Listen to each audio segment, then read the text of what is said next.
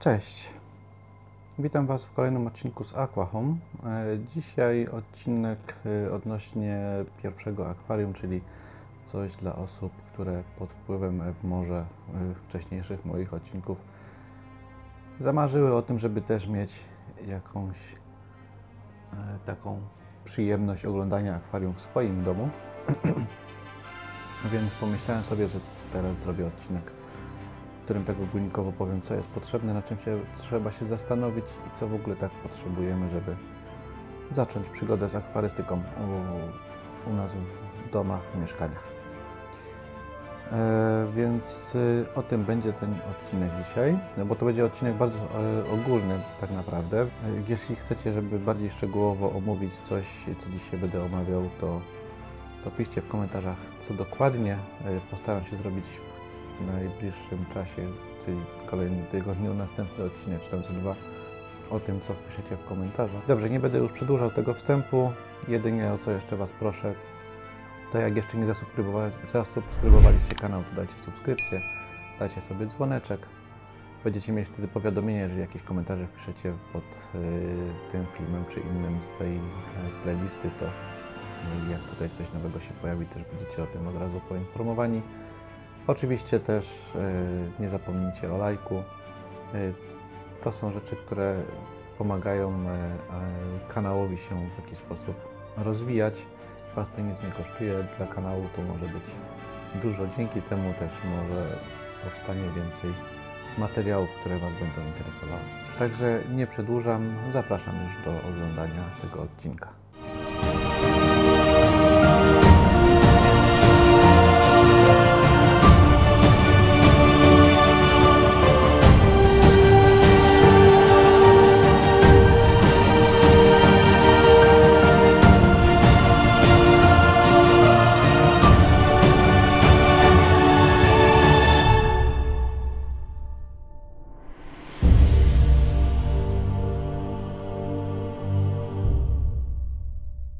Sobie wynotowałem parę rzeczy takich istotnych, e, żeby też trzymać troszeczkę czasu, bo to jest dużo, więc jakbym zaczął się rozgadywać, to, to by trwało i trwało. I żeby przy okazji o czymś nie zapomnieć, czegoś nie pominąć. Więc tak, pierwsza rzecz, jaką będziemy musieli się zastanowić, to jakie akwarium, jakiej wielkości e, powinno ono być. I teraz tak, dużo zaczynających osób z akwarystyką wpada w taką pułapkę. A jaką pułapkę dokładnie to, że myślą, że a kupimy sobie małe akwarium, tam 20 litrów, 25, może 30, będzie mniej roboty. I będzie wszystko hit. Ale tak jest właśnie całkowicie na odwrót. Mniejsze akwarium wymaga więcej pracy, e, więcej doglądania tego akwarium, ponieważ mniej litrażowo wody powoduje, że tam bardzo łatwo jest zachwiać równowagę w tym akwarium. E, Czyli można bardzo łatwo zachwiać równowagę w akwarium, e, czy to bakteryjną, czy to e, ogólnie e, w związkach e, gazowych, tak? czy tam e, fosforowych, czy tam azotowych, czy będzie się tam amoniak wytwarzał, czy coś, no różnie może być. W małych akwariach jest to większe zagrożenie niż w większych, dlatego na początku dla osób, które chcą założyć akwarium swoje pierwsze, nie polecam małych akwarium. Moim zdaniem skromnym uważam, że akwarium 100 litrów to jest takie akurat dla początkującego akwarysty. Nie jest one ani za duże, ani za małe. Na pewno wybaczy więcej błędów niż przy małym akwarium. A przy okazji będzie też ładniej wyglądało, bo większe akwarium przede wszystkim wygląda dużo lepiej. W sensie pod kątem tym, że mamy tam większą obsadę, więcej roślin, więc mamy więcej możliwości tak naprawdę. E, Więc to jest jedna rzecz. Oczywiście nie każdy może mieć miejsce na takie 100-litrowe akwarium, choć nie jest one specjalnie jakoś duże. To jak już naprawdę nie chcecie mieć 100-litrowego, a chcecie troszeczkę mniejsze, to proponuję 75 litrów, minimum 60, czyli takie coś jak ja mam. Mniejsze niż ta 60 nie polecam, bo będziecie się musieli troszeczkę przy tym akwarium wspinać, tak naprawdę, jakbym to powiedzieć. Przy takiej 60 już trzeba troszeczkę e, pracy włożyć, e, żeby ona funkcjonowała prawidłowo. I nie ma przeproś, te prace trzeba wykonać, bo inaczej nam akwarium się zapuści, jakieś tam dziwne rzeczy się będą robiły, ryby nam zaczną umierać, inne zwierzęta, które tam mamy też zaczną umierać. Trzeba o to dbać. W większym akwarium, jak już uzyskamy tą równowagę i stabilizację, jest prościej. Tego się trzymajcie.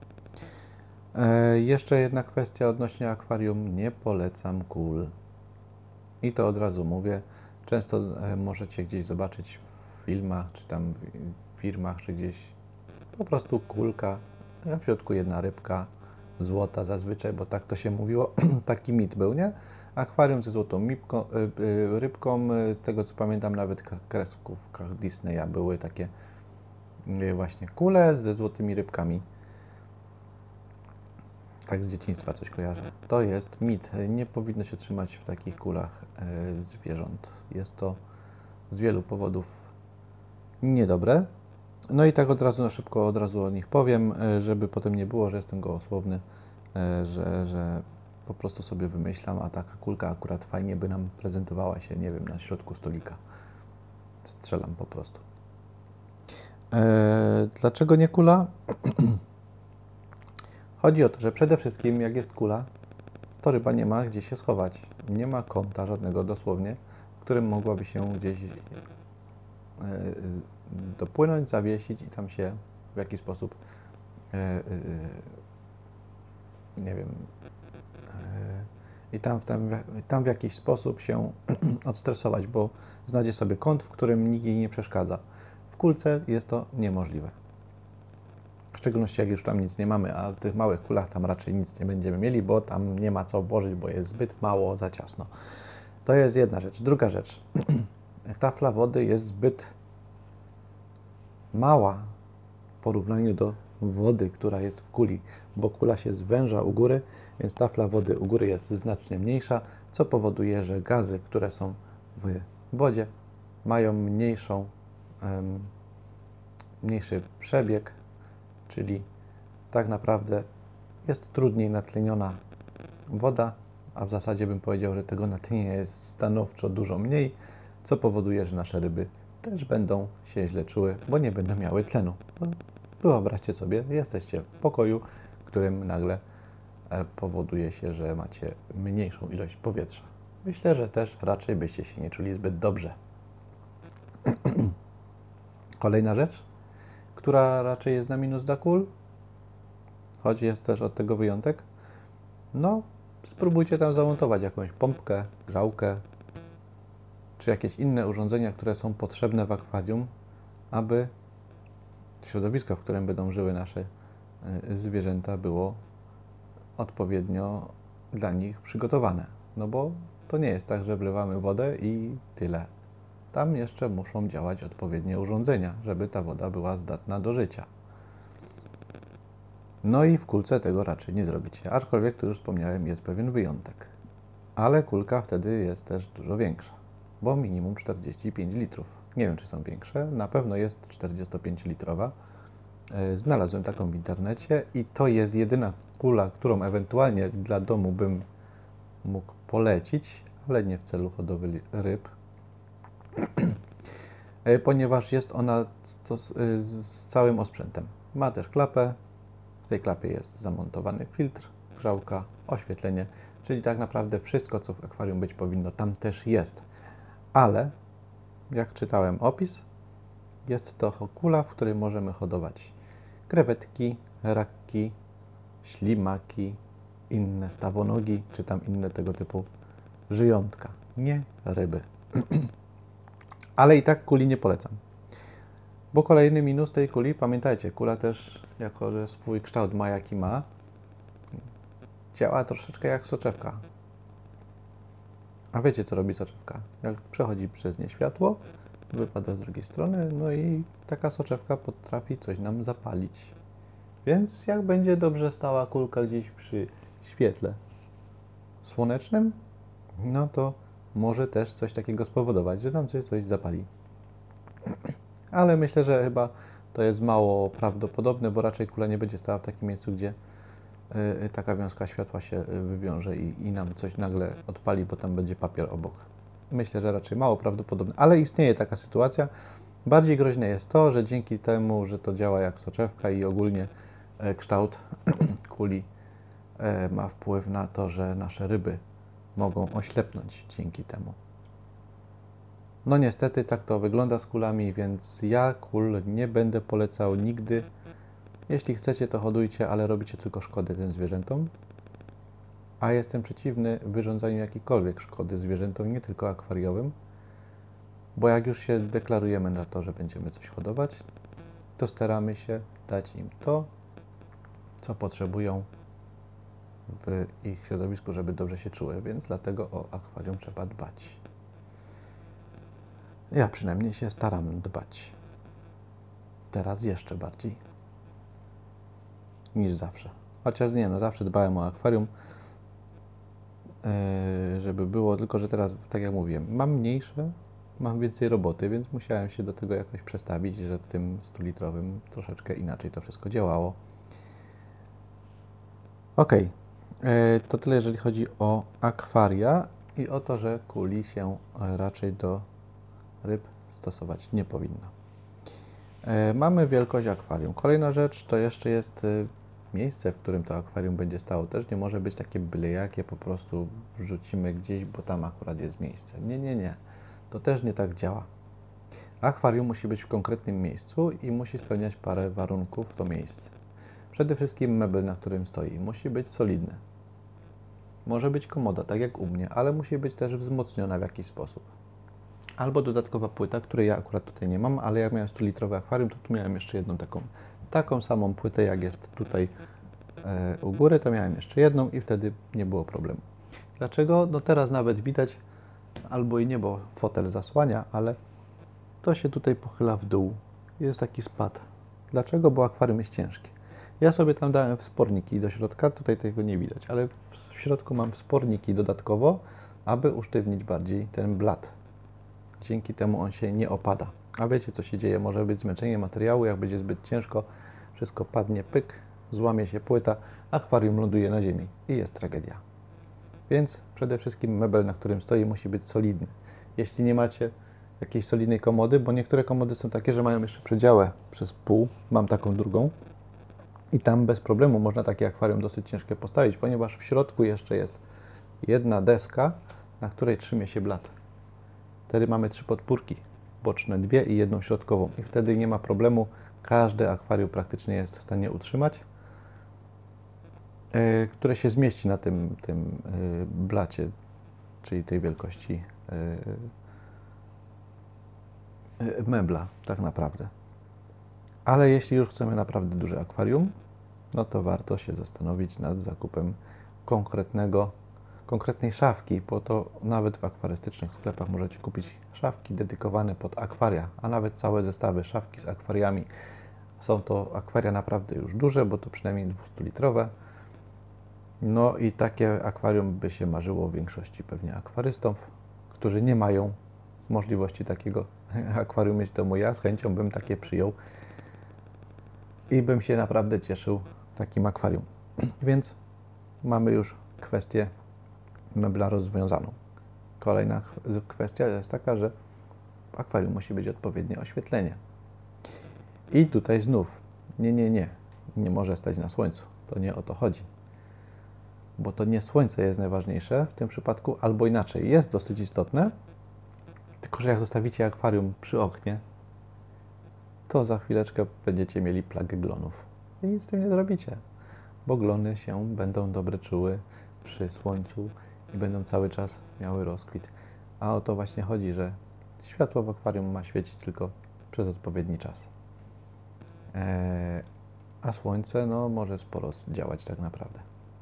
Dlatego tak jak u mnie, ja mam okno tutaj, ma, tam jest wschód, tam jest zachód, więc promienie słoneczne nigdy nie będą mi padały na akwarium. Jest to bardzo dobre miejsce, uważam, w moim e, akurat otoczeniu jedne z lepszych, i mam oświetlane po prostu światłem, które jest w pokrywie, o czym też kiedyś będę jeszcze Wam mówił, jak to dokładnie wygląda. Dobrze, czyli mamy kwestię e, mebla, kwestia tego, że nie może być na słońcu, czyli przy oknie, czyli gdzie? Czyli gdzieś w głębi pomieszczenia, gdzie nie dociera dużo światła, bo to nie musi, to może być nawet po drugiej stronie, jeżeli mamy duży pokój, naprawdę duży i też słoneczne, słoneczne światło nie będzie dochodziło gdzieś na drugą stronę, to też można tam postawić takie akwarium e, i też nie powinno być problemu. Chodzi o to, żeby to było troszeczkę zacienione miejsce. Wyposażenie techniczne akwarium. To jest kolejna dosyć ważna rzecz, czyli co potrzebujemy, żeby wystartować z akwarium. Na pewno potrzebujemy, to co wspomniałem, oświetlenie. E, na pewno potrzebujemy też jakieś ogrzewanie, czyli jakąś grzałkę do naszego akwarium. E, potrzebny będzie filtr. Jeśli mamy filtr z napowietrzaczem, to to wystarczy. Jeżeli nie ma to napowietrzania z filtra, to potrzebujemy jeszcze pompkę napowietrzającą, czyli ten tak zwany brzęczek. E, I tak naprawdę ze sprzętu to byłoby chyba tyle. Kwestia oświetlenia jest też prosta. Musimy pamiętać o tym, że ryby, które będą w naszym akwarium, najprawdopodobniej będą ryby, które są ze, ze strefy podzwrotnikowej, czyli tam zazwyczaj dzień trwa 12 godzin, noc 12 godzin, tak średnio, czyli pół na pół i przez tyle powinno być oświetlenie w naszym akwarium. Najlepiej 8-10 godzin, żeby się świeciło, to jest tak akurat. Wstajemy rano, możemy zaświecić światło, idziemy spać, gasimy światło, powinno być git nie powinno być z tym problemu. Jeżeli wiemy, że nas dłużej nie ma, no to wtedy trzeba się zastanowić. Jest też na to rozwiązanie. Można sobie takie urządzonka podpiąć do prądu, które będą nam włączały i wyłączały prąd w odpowiednich godzinach. Dobrze, co jeszcze, jeśli chodzi o wyposażenie, to chyba już wszystko. Kolejna rzecz, która jest istotna w naszym akwarium i będzie trzeba kupić, to będą dekoracje do akwarium. Jakie dekoracje? No, Przede wszystkim potrzebujemy jakieś tło na tył szyby, bo jak akwarium stoi tak jak stoi, czyli z tyłu jest ściana, to niezbyt to dobrze wygląda, po pierwsze. Po drugie, e, z tyłu zazwyczaj też mamy jakieś kable, inne rzeczy związane z, z, z tym, żeby to akwarium działało, czy coś innego tam stoi, więc to wszystko też by nie wyglądało zbyt estetycznie, więc dajemy tło. Teraz widziałem, często montują czarne, ja mam takie tło które jest jakby imitacją naturalnego zbiornika wodnego, czyli takie niebieskie i tam są roślinki na tym tle. I to się tak razem komponuje troszeczkę tymi roślinami, które są w akwarium, więc też fajnie. E, kolejna rzecz to podłoże. Podłoże dla początkujących. Powiem tylko tyle, wystarczy żwirek o gradacji 1 do 3 mm, nic więcej. I dacie sobie radę dla początkujących akwarystów z mało wymagającymi roślinami i, i rybkami wystarcza. E, pamiętacie jeszcze jedną ważną rzecz. Nie kupujcie żadnych podłoży, które przecież w naturze nie ma. A pamiętacie, że zbiornik akwarystyczny w naszych mieszkaniach ma odzwierciedlać naturalne miejsca zamieszkania tych ryb, które będziemy hodować. Można też łączyć różne, różne podłoża. Na przykład ja mam po, połączone, ale to tak jak mówię, dla początkujących żwirek. 1-3 gradacja i więcej nic. Kolejne rzeczy to do, jako dodatki to wiadomo też y, naturalne, jakieś korzenie, jakieś skałki, kamyki. To może być, może być nawet łupinka z kokosa, bo też takie miałem kiedyś. Nawet to jest naturalne, więc nic tam się złego nie będzie działo, jeśli nie chcecie kupować, a czasem nawet się przydaje. Zależy wszystko od tego, co będziecie mieli w akwarium, więc musicie przemyśleć, jakie będą tam dodatki do tego potrzebne, ponieważ musicie stworzyć jakieś kryjówki. Tylko pamiętajcie, że rośliny to też kryjówki. Nie wszystkie, bo niektóre nie tworzą jakoś specjalnie kryjówek, ale tak jak u mnie widzicie, te takie dosyć gęste, one też służą dobrze za kryjówkę. W tej chwili to nawet bym powiedział, bardzo dobrze za kryjówkę mi e, mały heniek działa, czyli ta roślinka tutaj na trawniku. Tam się pochowały wszystkie krewetki. Albo bym mógł powiedzieć prawie wszystkie, bo chyba samice tylko. Bo jak dobrze widziałem, to się tam młode gdzieś pojawiły, więc e, póki nie wyrosną, to będą się działy pewnie w krzaczorach i ich za bardzo nie będę widział. Ale bardzo fajnie, bo cieszy mnie to. Akwarium ma niecałe, ma dzisiaj jest, no ma miesiąc i tam chyba dwa dni od wystartowania i już się pojawiają młode krewetki, więc jest bardzo fajnie. Wszystko się udało w takim razie i funkcjonuje jak należy. I ostatnia rzecz, jako dodatki do akwarium, które mają też być jako dekoracje, to są rośliny właśnie. Można dać rośliny tak jak ja mam, takie prawdziwe, które sobie ładnie rosną, rozwijają, są coraz bujniejsze, dają wiele kryjówek i wiele innych rzeczy, które są potrzebne i są takie, które są zrobione ze sztucznych tworzyw przez człowieka.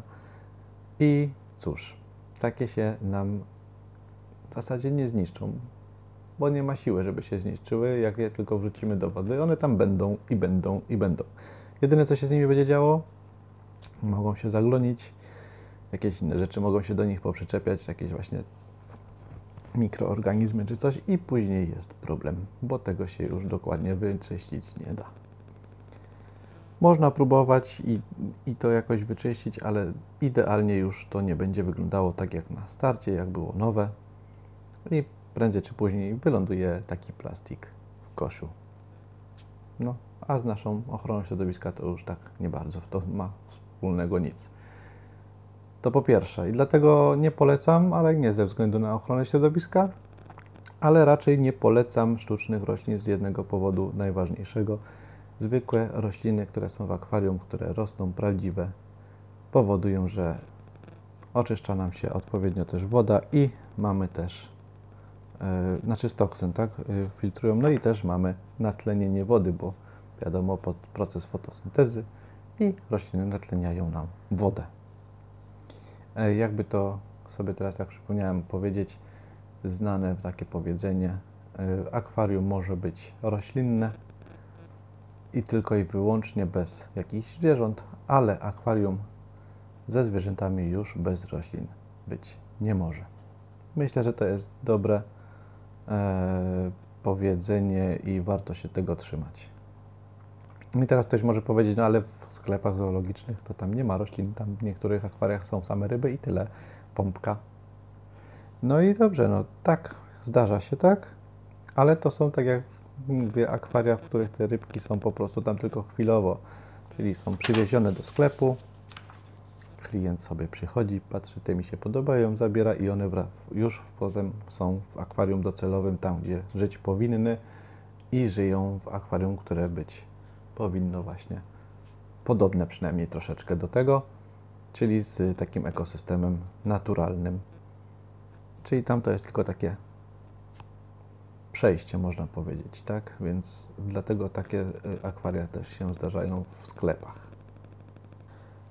I ostatnia rzecz. Jak już mamy to wszystko, no to wtedy zamieszkać coś musi w naszym akwarium, czyli jakieś zwierzątka. Czyli ryby, raki, krewetki, ślimaki, żaby, kraby. I to chyba wszystko z tego, co pamiętam i widziałem. Ale pewnie jeszcze są inne zwierzątka, które mogą w naszych akwariach żyć. Z takich, co ja miałem, czyli póki co teraz ryby, krewetki, bo krewetki pierwszy raz hoduję i uważam, że rewelacyjne. Oprócz tego jeszcze miałem. Aha, i ślimaki też są, no bo to zazwyczaj ślimaki to zazwyczaj się nawet ze sklepu przyniesie. Mm, ślimaki i miałem jeszcze żaby. Tak, bardzo fajne żaby. Zastanawiam się nad rakiem, Zobaczymy. E, no i o co tutaj chodzi z tymi mieszkańcami? Tutaj też trzeba się zastanowić, kogo chcemy wpuścić do naszego akwarium. Bo jak dopiero zaczynamy, to trzeba pamiętać, że to musi być wszystko przemyślane, bo sobie nie damy rady. E, więc warto zastanowić się nad rybami, które są raczej neutralne dla innych ryb i potrafią żyć obok siebie. Nie, ryby agresywne. A Więc warto też się sprzedawcy zapytać, zanim zakupimy jakąś rybę, czy to są ryby agresywne, czy, czy raczej będą łagodne, sobie pływały, sobie ławicowo, tak jak na przykład neonki, czy tam gupiki. E, One są naprawdę dosyć neutralne. E, Potrafią czasem się pogonić, na przykład gupiki, ale przynajmniej te oczy, pawie oczka, ale ogólnie potrafią ze sobą żyć. E, Warto też zaznaczyć, żeby kupować ryby z jednego środowiska, z jednego kontynentu, można powiedzieć. Czyli jeżeli chcecie mieć ryby z Ameryki Południowej, to kupcie sobie takie, które tam żyją, tylko w tym rejonie. Nie mieszajcie chińskich wód z, z amerykańskimi na przykład. E, Nie mówię, że tak nie można. Bo oczywiście można by, jeżeli się odpowiednio wszystko przeanalizuje i trafią się ryby, które żyją w Chinach, powiedzmy gdzieś tam w wodach, będą potrzebowały tych samych parametrów, co te z Ameryki na przykład, tak? Więc jedne i drugie potrzebują taką samą pa- parametr twardości i pH wody, potrzebują tą samą temperaturę, więc generalnie też można je trzymać razem, ale trzeba jeszcze popatrzeć, czy w ogóle e, będą ze sobą w jakiś sposób potrafiły się w akwarium odnaleźć, czy nie będą się yy, wzajemnie jakoś tam wytępiać, bo czasem i tak może być. Yy, W szczególności nie polecam dla osób początkujących, na przykład pielęgnic, bo to są ryby, które też troszeczkę wymagają opieki. Pielęgnice są bardzo terytorialne, potrafią gonić ryby, e, pilnują swoich terenów, więc nie ma szans, żeby tam coś przepłynęło przypadkiem, bo zaraz będzie gonione i gryzione i tak dalej. Mm, Miałem kiedyś pielęgnice, są bardzo fajne, ale trzeba na to uważać, ponieważ tych ryb zdecydowanie mniej w akwarium będziecie musieli mieć, bo nie może być ich zbyt dużo, bo będą problemy.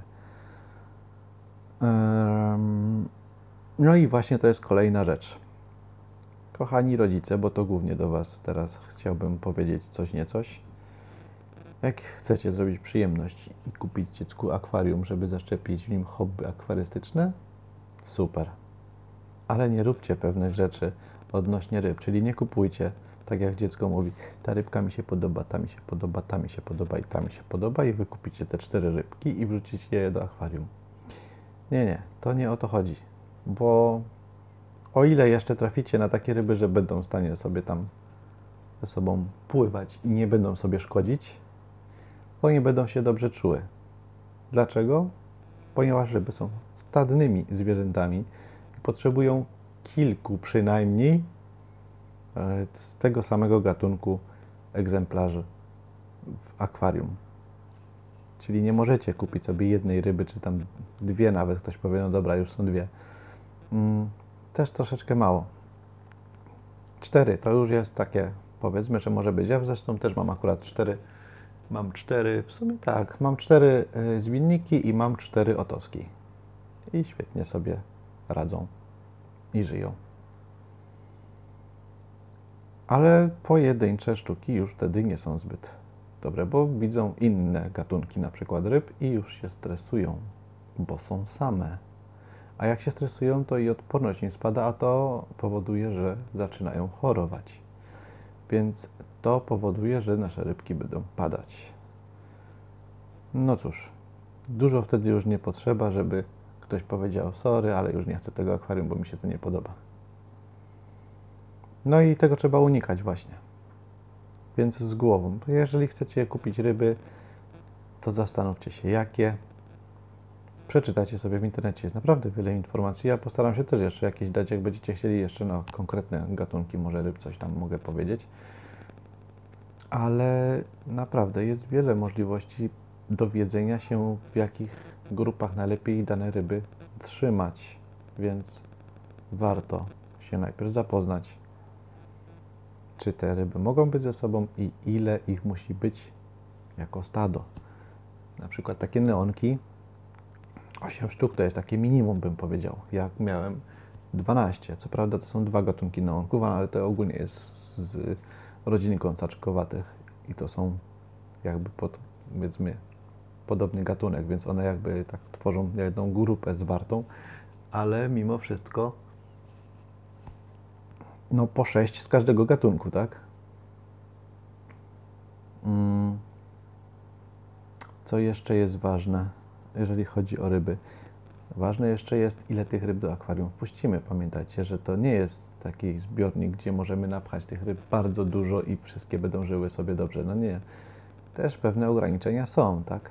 Nie pamiętam, jak to się dokładnie liczyło, ale tam gdzieś taki przelicznik jest. Nie wiem, czy to było 5, 1 cm ryby na 5 litrów wody, czy jakoś tak. Nie pamiętam. Jak będę sprawdzał kiedyś, to najwyżej Wam powiem, bo nie jest ten przelicznik teraz tak naprawdę potrzebny, ale możecie spróbować sobie też w ten sposób coś przeliczyć. Wpiszcie sobie gdzieś w Google'ach, więc znajdziecie taką informację. Po prostu chodzi o to, że jak mamy dużo ryb, to mamy też dużo odchodów, a jak mamy dużo odchodów, zaczyna się nam tworzenie azotanów i azotynów, a dzięki temu mogą powstać, może powstać amoniak, jeżeli mamy złą filtrację i źle ustawione filtry, więc szybko nasze rybki mogą paść. Nie wspominając o tym, że jak będzie złe napowietrzanie, to i tlenu im zabraknie. Jak nie będzie roślin, to już tym bardziej. E, więc myślę, że to tyle, jeżeli chodzi o to, co w akwarium być powinno i na start powinniście mieć. Jedyna rzecz, której nie powiedziałem jeszcze, to na start nie kupujcie ryb ani innych zwierząt, które będziecie chcieli mieć w akwarium. Nie robimy tego. E, jedynie usprawiedliwione może, mogą być osoby, które już miały akwarium e, i gdzieś te ryby muszą dać, tak? No bo na czas powiedzmy sprzątania w akwarium, takiego resetu akwarium, gdzieś te ryby muszą przenieść, więc zazwyczaj są to jakieś woreczki, w których się kupuje ryby, czy tam y, mniejsze zbiorniczki, do których na chwilę można je dać, ale nie będą mogły tam te ryby być nie wiadomo jak długo, więc y, jeszcze zrozumie, że ktoś takie ryby wpuści po zorganizowaniu od nowa mm, akwarium i oczywiście sprawdzeniu, czy woda jest, ma odpowiednie parametry i od razu je tam sobie wpuści. To jeszcze co zrozumiem, jeżeli ktoś dopiero buduje swoje akwarium, nie kupujemy ryb od razu. Najpierw tworzymy akwarium i teraz do tego przejdziemy. Punkt po punkcie postaram się szybciutko Wam powiedzieć po kolei, co musimy zrobić. Czyli tak, e, już omówiłem wszystko po kolei, wszystkie e, sprzęty i tak dalej, ale przelecimy to jeszcze krok po kroku, żeby się Wam utrwaliło. Może tak. Czyli co musimy kupić? Na początek kupujemy albo mamy, po prostu tylko sprawdzamy, czy jest odpowiednio dobrze yy, stabilny mebel, czyli może być to komoda na przykład, a ewentualnie jeżeli nie mamy takiego mebla, to musimy kupić sobie odpowiedni mebel, na którym będzie stał nasze akwarium. E, oprócz tego, aha, i pamiętajcie, że 1 litr wody to jest 1 kg, dlatego warto sobie policzyć, ile kilogramów tak mniej więcej tych akwarium będzie ważyło i czy dany mebel wytrzyma takie obciążenie. E, kolejna rzecz, którą trzeba kupić to akwarium, logiczne, nie? Jak chcemy mieć akwarium, to musimy je kupić. E, materiał jakiś amortyzujący jako podkładka, tak jak ja mam taką gąbkę, to się też od razu w sklepie akwarystycznym da kupić, nie ma większego problemu. E, też drogie to być nie powinno. Kolejna rzecz, jaką powinniśmy kupić, to pokrywę, choć niekoniecznie jest ona potrzebna.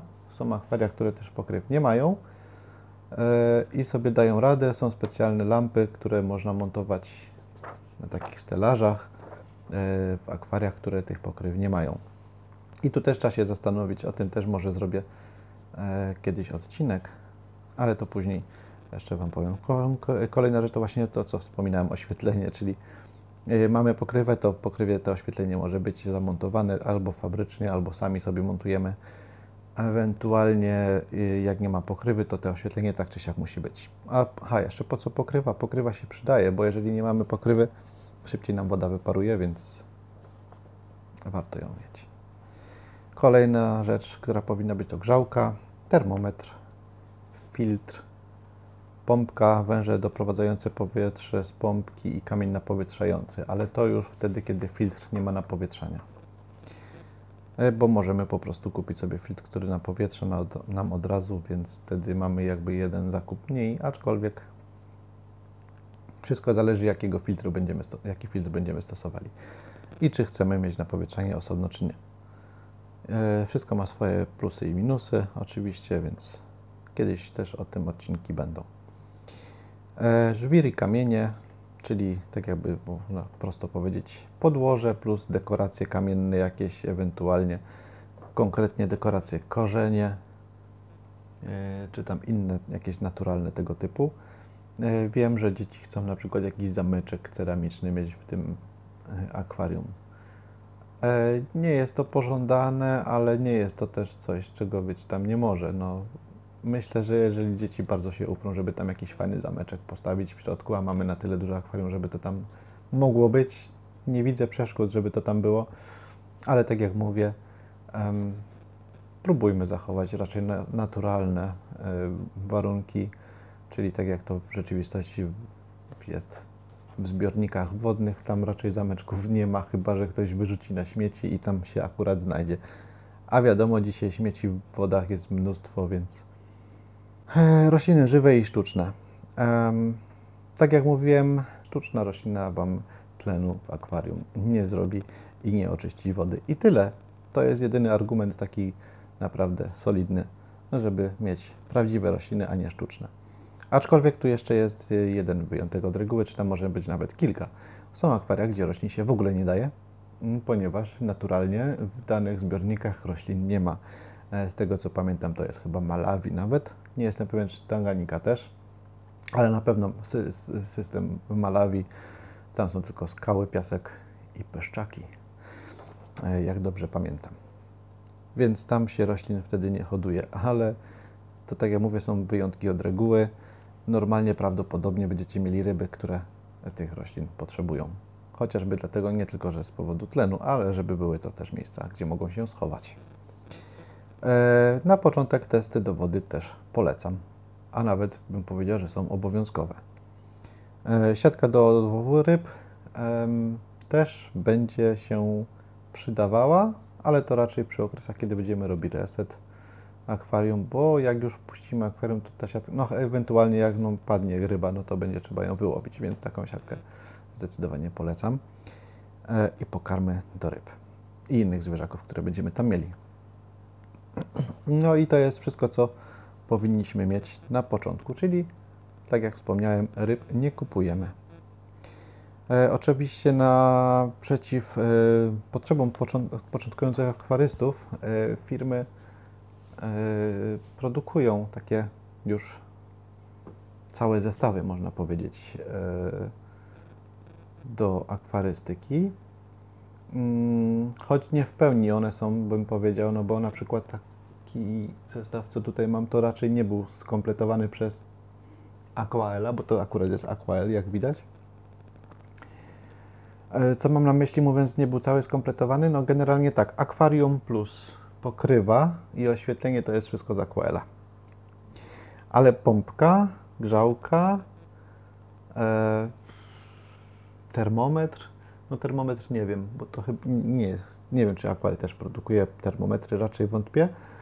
E, Więc y, to już jakby jest gestia sklepu, żeby taki zestaw skompletować, czyli dorzucić tą pompkę, dorzucić tam tą grzałkę, dorzucić tam termometr, dorzucić tam ewentualnie jeszcze tło, dorzucić podkładkę, czyli taki zestaw stuprocentowy, że tylko bierzemy, kupujemy, rozkładamy i mamy wszystko, to raczej już zestawy y, takie tworzą sklepy ale firmy produkują już tak jakby komplet, czyli akwarium, tak jak moje, panoramiczne, bo to yy, pokrywy zazwyczaj, chociaż nie, w prostych akwariach chyba pokrywy też są, też można znaleźć takie zestawy, więc naprawdę to zestaw to jest akwarium plus pokrywa z oświetleniem yy, firmowo. Więc polecam takie rozwiązania dla początkujących, tylko trzeba wiedzieć, że to ma też pewne wady. Jakie, to o tym będę mówił też przy innych odcinkach. Jak już skupimy się na przykład na zestawach albo na czymś innym, konkretnym, szczegółowym, na przykład na oświetleniu, to też mogę podać, jakie są wady takiego oświetlenia, jak jest w oryginale i z czym to się je. Ale tak jak mówię, to będzie w następnych odcinkach, więc e, tak naprawdę na dzisiaj tylko ja chciałem powiedzieć, co Wam będzie potrzebne na start i jak to ogólnie e, wszystko sobie zorganizować. Czyli tak, omówiłem wszystko, co musimy kupić, co powinniśmy mieć, żeby takie akwarium stworzyć. A teraz powiem Wam dokładnie, szybciutko, krok po kroku, jak powinniśmy takie akwarium postawić. Czyli etap pierwszy to jest przygotowanie i wybranie miejsca pod akwarium. o którym już wspominałem, więc wiecie, jakie miejsce powinniście wybrać. E, przypomnę tylko, że nie powinno być, e, powinno być z dala od światła słonecznego, od ogrzewania centralnego, od miejsc, w których może być łatwo uszkodzone, czyli na przykład nie powinno być gdzieś za drzwiami, które się otwierają w stronę akwarium, bo jak ktoś walnie klamką, to będzie po wszystkim i będzie tragedia. To są takie podstawowe rzeczy. Aha, jeszcze nie powinno stać w takim miejscu, gdzie będzie duży ruch, czyli jeżeli to jest Wasze mieszkanie, no to raczej tego ruchu za dużego tam być raczej nie będzie. Ale gdybyście chcieli w biurze sobie postawić, no to lepiej, żeby stało gdzieś, gdzie nie będą cały czas do Wam klienci przechodzili w te i we w te, e, bo to ryby stresuje, więc nie, nie. E, akwarium musi stać gdzieś, gdzie jest w miarę spokojnie i tam oraz od, od czasu do czasu ktoś może przejdzie, podejdzie, e, popatrzy sobie, tak żeby ryby miały spokój i się nie stresowały. Ja akurat mam tak troszeczkę przy przejściu, ale u mnie ruchu dużego nie ma, uwierzcie mi, bo jestem ja albo jeszcze jedna osoba. Rzadko zdarza mi się tutaj mieć więcej osób, więc, e, więc nie mam tutaj takiego przelotowego mieszkania, że dzieci mi nie biegają, o tak to powiem, i nie skaczą przy akwarium, bo to też ważne jest, pamiętajcie, dzieciaki też nie, tam troszeczkę z tym akwarium uważają, bo takie zachowania, które będą tam, nie wiem, stukać, pukać po tych akwariach i tak dalej, to stresuje ryby, to nie jest dobry pomysł. E, do obserwacji jak najbardziej usiąść, patrzeć na spokojnie, ale bez jakichś tam szturchanek. Ja wiem, jak już chociażby otwieram sobie szufladę tutaj e, z komody, to ryby się już też straszą, bo to jednak e, słychać, jak się przesuwa na tych kółeczkach. Na szczęście tutaj nie używam tych szuflad aż tak często, więc moje ryby nie są zbyt stresowane. Dobra, etap drugi. Musimy sprawdzić, czy ten mebel jest stabilny, na którym będzie stało to akwarium i przede wszystkim zanim je położymy i zalejemy wodą, to najlepiej myślę w sumie chyba w łazience albo w wannie, czy tam pod prysznicem, co kto ma, zalać sobie je wodą i sprawdzić, czy jest szczelne. No bo jak sobie tak postawicie i zaczniecie tam wszystko robić, potem się okaże, że jest nieszczelne, no to szkoda Waszej roboty tak naprawdę.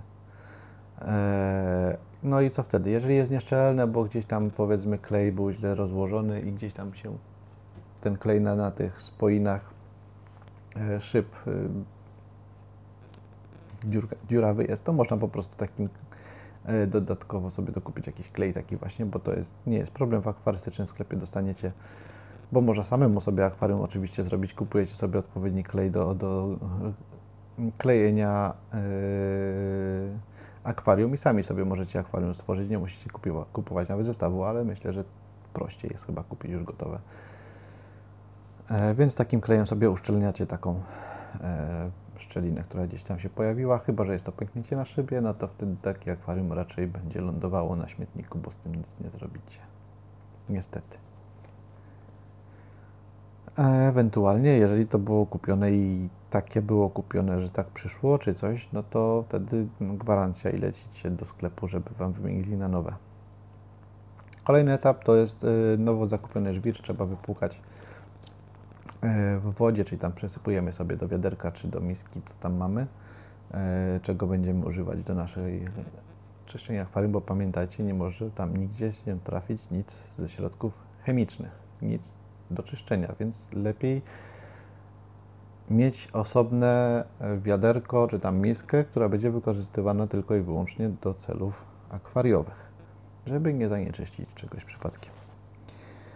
E, I jak wypuczemy ten żwir z tego syfu, no bo wiemy, ten żwir jest przenoszony, przetransportowany w różnych miejscach, przerzucany i tak dalej, on się też lekko tam skruszy, wiadomo, jeden o drugi się ociera, więc jakiś pyłek się tam tworzy, no i dlatego potem jest woda bardzo mętna, jak się go zaleje. Więc trzeba to przepłukać, żeby ten cały syf z tego wypuścić, a nie dawać tego do akwarium, bo to wszystko potem będzie trafiało do naszej pompki i szybko będzie trzeba ją wziąć wyczyścić później. E, czyli mamy ten nasz przepłukany żwirek 1,3 gradacja.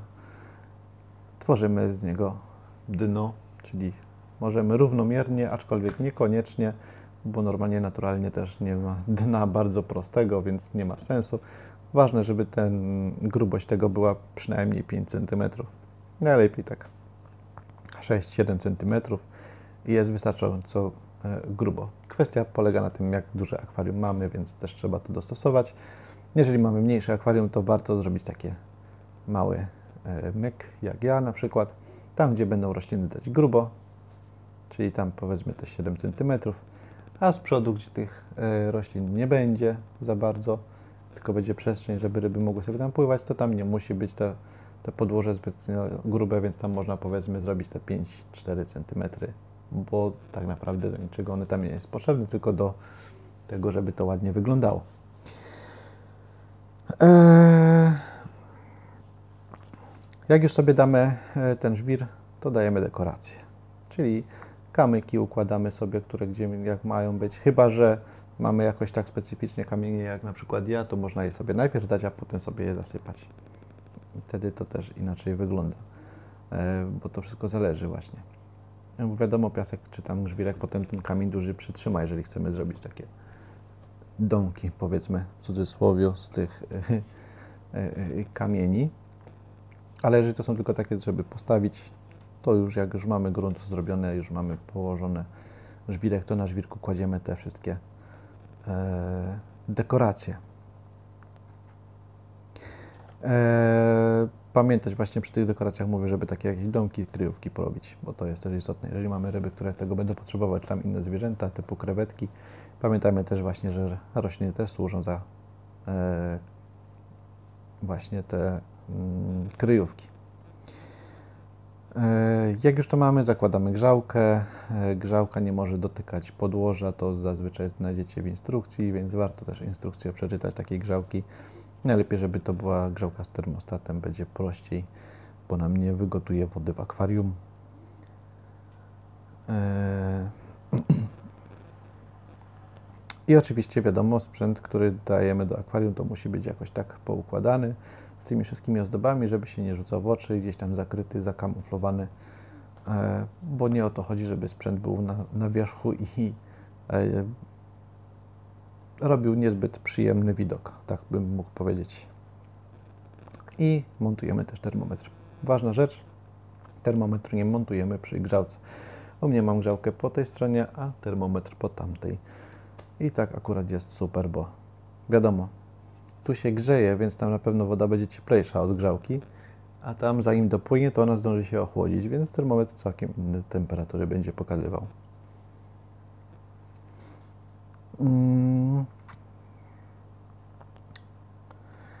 Kolejna rzecz to właśnie będzie e, podłączenie kamienia e, napowietrzającego, chyba że używamy pompki e, z filtrem, która jest ma od razu przystawkę taką napowietrzającą i nie będziemy używali tego kamienia napowietrzającego, więc ten punkt możecie sobie pominąć, jeżeli tego nie używacie.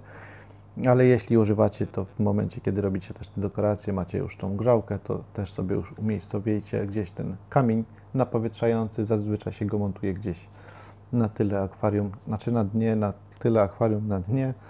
E, w takim miejscu też, żeby ta rurka, która prowadzi to powietrze do kamienia, też można było ją zamaskować gdzieś, czyli najlepiej wszystko tak w miarę blisko.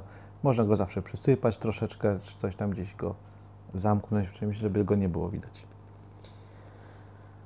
Eee, jak już mamy ten kamień, można by w tym momencie e, zamontować ewentualnie już filtr.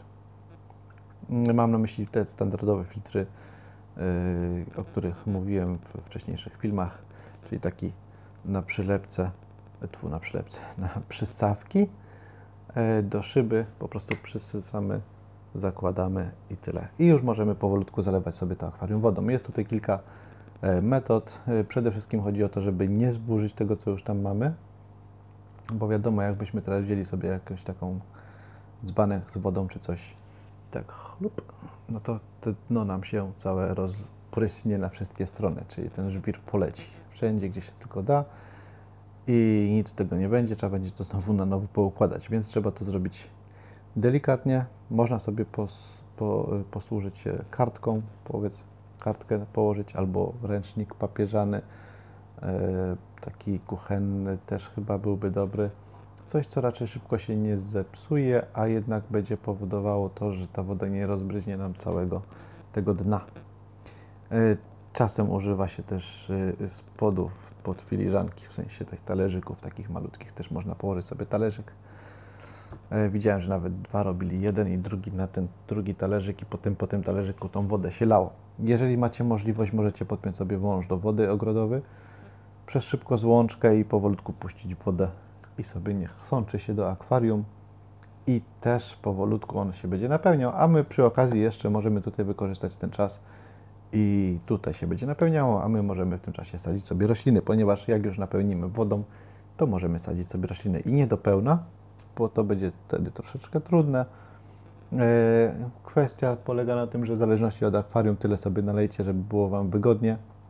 Ja sadziłem mając tam parę centymetrów wody ponad, e, ponad grunt, czyli ponad ten mój piasek, e, bo jest mi łatwiej wtedy, tak? Jeżeli macie duże rośliny, to można zrobić nawet i po, po, że nalejecie sobie do połowy wodę i potem zaczniecie sobie sadzić. Najlepiej do sadzenia używać pincety. O tym nie wspominałem tak naprawdę. Więc y, do sadzenia używamy pincety. Tak jak mówiłem, y, możemy mieć taką zwykłą, malutką do małego akwarium. Nie trzeba dużych, są też duże pincety, ale to, to jakbyśmy mieli naprawdę duże, duże zbiorniki, wtedy będzie łatwiej. Więc jak już mamy posadzone rośliny, y, mamy w zasadzie akwarium już całe przygotowane. Co teraz? Teraz po prostu jeszcze rybek nie dajemy, dlatego mówiłem, nie kupujemy ryb. Mamy już przygotowane akwarium, teraz włączamy wszystko, startujemy z filtrem, nagrzewaniem, oświetleniem i pilnujemy wody. Ile? Dwa tygodnie mniej więcej. Powinno chyba wystarczyć na początku, żeby coś tam wpuścić. Yy, Po to, żeby się tam wytworzyła równowaga, żeby wytworzyły się bakterie w filtrach, yy, żeby była filtracja e, także bakteryjna, mm, na przykład z azotanów i azotynów, bo to po to się tam wszystko e, tworzy. No i teraz tak. E, światło świecimy przez dzień, czyli tam powiedzmy te 10 godzin, na noc się wyłącza i tego się trzymamy e, i pilnujemy wody. Taki test w zupełności wystarczy. Jest to test e, paskowy, który zanurza się w wodzie. Ten pasek się wyjmuje. Tutaj akurat mam pusto, mam w środku schowane. Tu mi się skończyły. Zanurza się pasek, wyciąga się pasek z, akwari- z wody akwariowej i sprawdzamy po kolorach, co tutaj nam e, te, te kolory mówią. E, To jest dobry test w sensie takim, że pokazuje nam naprawdę wiele parametrów z naszej wody, mm, bo e, przede wszystkim na początku, jak sobie za pierwszym razem użycie, to będziecie widzieli, czy macie chlorowaną wodę bardzo z kranu, czy nie, ponieważ pokaże nam też, czy mamy dużo chloru. I tutaj potem mamy na przykład y, od 0,8, żeby już użyć AquaSafe. To jest y, właśnie jeden z uzdatniaczy wody, wtedy on nam y, usuwa ten chlor z wody właśnie. Oprócz tego nam ten test pokazuje pH naszej wody, czyli musimy też wiedzieć, jakie pH nasze ryby potrzebują, bo jedne bardziej zasadowe, inne bardziej kwaśne, choć zazwyczaj raczej będzie potrzebna woda bardziej e, kwaśna niż zasadowa, z tego co pamiętam. E, Potem jeszcze pokazuje nam dwie opcje mm, twardości wody, czyli KH i GH, czyli tą ogólną Mm, bo tu też trzeba wziąć pod uwagę, że e, na przykład dla ryb e, patrzymy na KH, a na przykład krewetki to wystarczy popatrzeć na twardość ogólną wody i wtedy wiemy, czy takie krewetki też możemy w naszej wodzie mieć, aczkolwiek myślę, że większość raczej powinno być ok. No i dwie ostatnie e, rzeczy, jakie nam pokazuje ten pasek, to azotany, azotyny. I tutaj właśnie to jest najważniejsze, bo na początku tych azotanów i azotynów za wiele być nie powinno, bo to co najwyżej się będzie wytwarzało z y, podumartych roślin. Gdzieś tam jakieś kawałki roślin mogą odpaść, mogą zacząć gnić i stąd, to- stąd się będzie biało, to będzie naprawdę mało. Ale jak już po tych dwóch tygodniach wpuścimy jakieś zwierzątka, to zaczną się też robić odchody, będą, będzie niezjedzone jedzenie, którym będziemy karmić, więc z tego będą się wytwarzały przeróżne właśnie mm, związki azotowe e, w wodzie i do tego czy potrzebny nam jest dobry filtr, który nam to wszystko wyfiltruje. Właśnie jest po to ta filtracja biologiczna. E, I tutaj akurat muszę powiedzieć, że Aquael e, Multicani bardzo mi w tym pomógł, bo te zwykłe filtry, które miałem, ten wcześniej Aquaela Fan e, Makro i ten kaskadowy, nie za bardzo mi pomogły w zwalczaniu azotanów i azotynów. Ale jak już podpiąłem sobie Multicani z zeolitem w środku, to teraz nie mam żadnych problemów z azotanem wiązkami azotowymi w, naszy, w moim akwarium i wszystko działa tak jak należy. Więc taki teścik i pilnujecie. I potem sobie powolutku zarybiacie. E, I tutaj tylko jedna jeszcze ważna rzecz. Jak już zarybiacie, to po kolei powiedzmy, kupcie sobie najpierw cztery ryby, przykładowo otoski, które dbają o to, żeby tam tyglony sobie podjadać. Potem kupcie sobie kolejne, e, powiedzmy,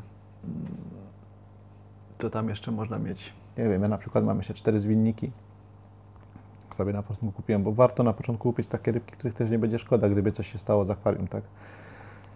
I gdyby tam faktycznie jakieś problemy się pojawiły, no to dlatego nie zarybiamy od razu całości, żeby nie wyginęło wszystko. E, dobrym, e, dobrą rybą na sprawdzanie jest też gupik, bo gupik jest bardzo wytrzymałą rybą i w wielu warunkach jest w stanie przeżyć. Dlatego e, to też jest jakby jakiś tam plus i w ten sposób też można zarybiać, tak? Ale nie mówię, że musicie gupików sobie kupować, bo możecie kupić sobie inne ryby, jeżeli nie chcecie gupików hodować. Eee, no i potem możecie już dokupić resztę, tak? Czyli powiedzmy tą czwórkę powiedzmy rybek typu otoski możecie sobie kupić, potem dokupicie sobie połowę zapotrzebowania akwarium i drugą połowę już później po kolejnych dniach i powinno być wszystko w porządku. Pamiętajcie tylko, że przy zarabianiu Musicie sprawdzić sobie, ile ryb możecie sobie do takiego zbiornika dać, bo to też nie można nie wiadomo ile. To no, trzeba też sobie odpowiednio przekalkulować a, i sprawdzić. O tym kiedyś odcinek też zrobię, więc myślę, że to chyba tyle. Zresztą sprzedawca też powinien Wam pomóc, jak zapytacie. Eee, no. Aha, ważna rzecz jeszcze, o której nie, nie powiedziałem chyba. Eee, sprawdźcie sobie, jakie wielkości ryby będą pod ale nie w sklepie, bo w sklepie są małe jeszcze, które dopiero urosną, tylko przeczytajcie sobie w internecie albo sprzedawcy się zapytajcie, do jakich rozmiarów te ryby dorastają, bo to jest dosyć istotne. Żebyście się potem nie nadziali, tak się zdarzało, już nieraz słyszałem, ktoś kupił sobie zbrojnika i potem się okazało, że to jednak nie był ten zwykły glonojad, tylko mega duży zbrojnik, który potem był taki. Wyobraźcie sobie mieć zbrojnika tej wielkości w takim akwarium, tam nic innego się już by nie zmieściło. Teraz sam też miałem taki przypadek. Kupiłem sobie akary błękitne, ale nie wiedziałem do jakich rozmiarów. Gdzieś tam nawet przeczytałem, że to miały być tam powiedzmy parę, centymetrów miały mieć, tak? No ale wyrosły mi takie duże.